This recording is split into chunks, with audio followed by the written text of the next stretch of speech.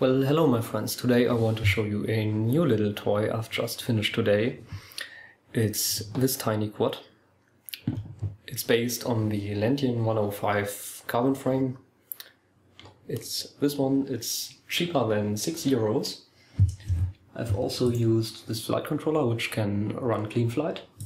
This uh, SBUS and telemetry capable receiver. And this camera. Well, for the frame itself,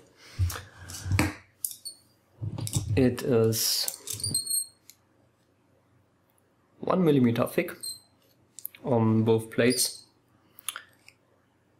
less than five millimeters wide, uh, which might make the arms a bit of a weak point, but it also makes it pretty light.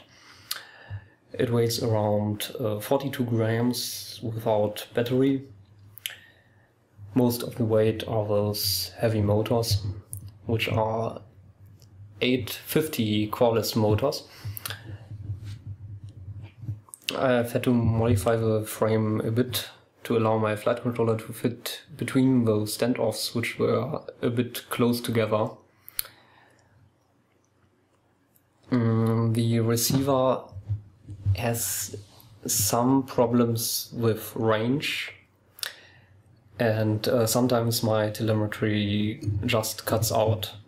It might also be an issue with my flight controller, but I'm pretty sure it's the receiver.